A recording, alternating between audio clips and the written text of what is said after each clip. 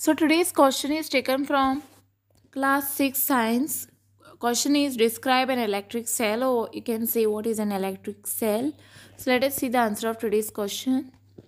So first write down the question describe an electric cell. Here you can see electric cell over here. Okay.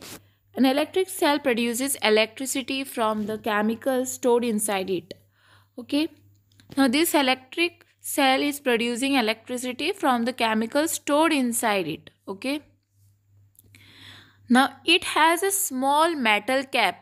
Can you all see a metal cap over here? It has it is having a small metal cap. On one side and a metal disc on the other side.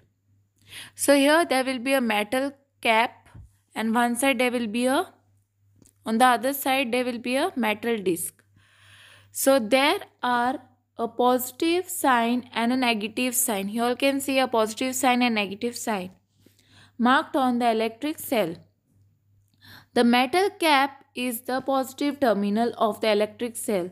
So the metal cap is on the positive terminal of the electric cell and the metal disc is the negative terminal. Metal disc will be near negative terminal. So all electric cells have two terminals, a positive terminal and a negative terminal. Okay. So I hope you all have understood the answer of today's question and thanks for watching.